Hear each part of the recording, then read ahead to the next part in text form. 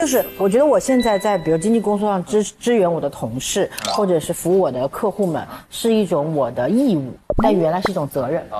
就是当你义务支援大家的时候，支援的好了，你会心情愉悦。你真的忙不过来，你不管，没有人责怪你啊，因为你不在这里面拿回报嘛，它就不是你的责任。但是当它是你责任的时候，你也因为那个工作你必须承担结果的时候，你的精神会非常紧绷。我是常年半夜不睡觉的，如果要盯新闻，然后我要解决我们公司所有艺人的突发事件，所以我常年处于一种备战状态。我我会觉得在常年的那个生活里，我的情绪就像那个皮筋已经拉坏了，就是滋啦滋啦，它就坏了。我所以导致我现在不太会产生那种大的情绪。